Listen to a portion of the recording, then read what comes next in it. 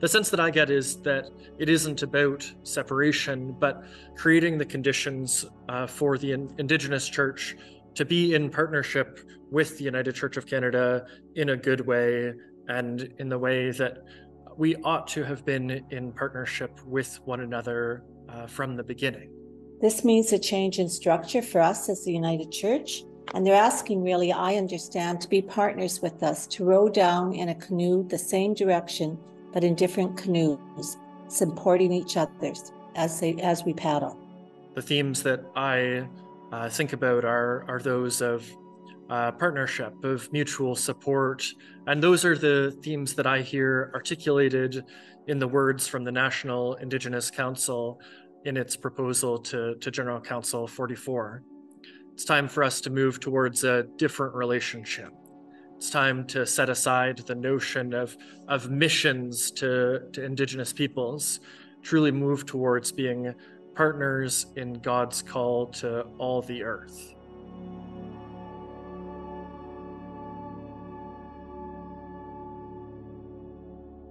Certaines personnes se demandent à quoi ressemblerait ou ressemblera la future structure. Il faut dire deux ou trois choses. Premièrement, il n'y a pas de structure définie pour le moment. Et quand ce remit, quand ce renvoi passera, parce que j'espère qu'il passera, alors on commencera à voir comment s'organiser. There's no new proposed structure figured out yet. If the remit passes, the Indi- Indigenous Church will begin their work. It's very similar to what happened to us as the non Indigenous Church when we moved from a four court structure to a three court structure. We knew we were going to have regional councils. We weren't really sure what each of those regional councils would look like, and we figured it out as we moved along the way. Similarly, the structure of the autonomous national indigenous organization will be worked out over time. The indigenous church does not yet have all the answers for what the structure will look like, but they want the time and space to do this work on their own while being in relationship with the rest of the church. Donc, oui, on ne sait pas exactement à quoi la future structure ressemblera, mais nous sommes confiants qu'avec le temps et en dialoguant ensemble, nous arriverons à quelque chose.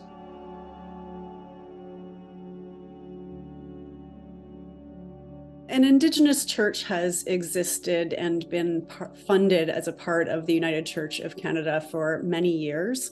This has included funding for staff at former conferences like the All Native Circle Conference and BC Native Ministries, as well as to local communities of faith, and funding for the Indigenous Ministries and Justice Unit at the General Council Office.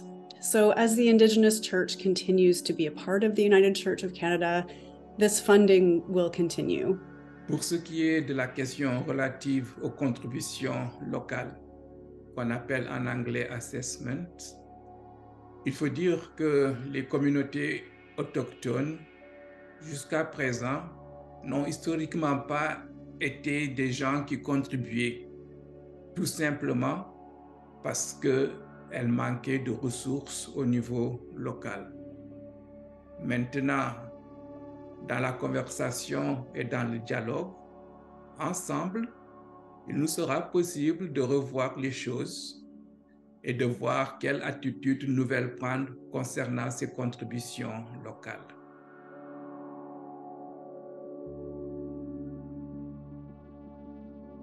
Policy outlined in the manual apply to all bodies of the United Church, that including the Indigenous Church in areas of social policy, and hope is that moving forward, the Indigenous and non Indigenous Church will work together to co develop policy positions.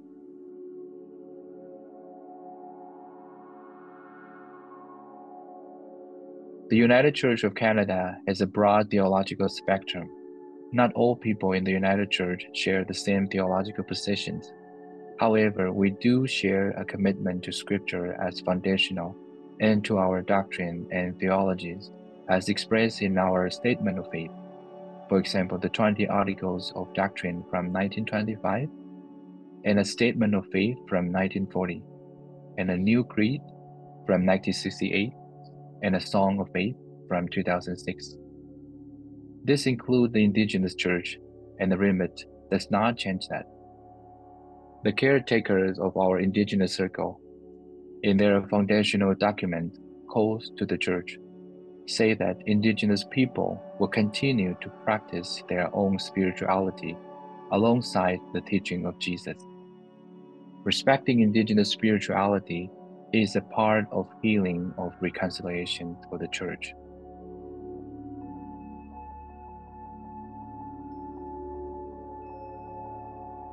I would like to be really cautious and really critical of any narrative that includes doubting the capacities of Indigenous peoples. Historically, those narratives have been used to infantilize and to delegitimize the agency of Indigenous peoples, nations, and governance structures and used to justify the colonial project. And they're discourses that have become prevalent and embedded in our in our society and in our uh, patterns of, of thought around indigenous people i feel like those are racist assumptions that need to be refuted that are dangerous and, and have had a, a violent impact over the course of our history. In this case, it is also the case that we're not forcing anything on the Indigenous Church.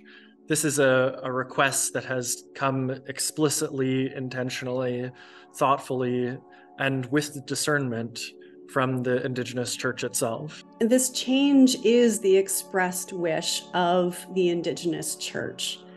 The background on this is that in 2015, when the church made the decision to move from a four court to a three court model, the Indigenous Church made clear that it had not been fully included in the processes that led to this change.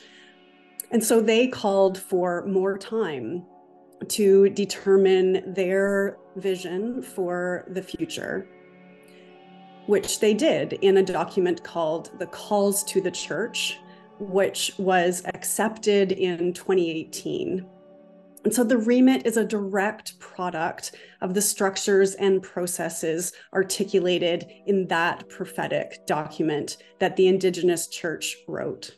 I think we should be receiving this, this proposal and this remit uh, with celebration and enthusiasm and recognize it as the movement of, of the spirit within community.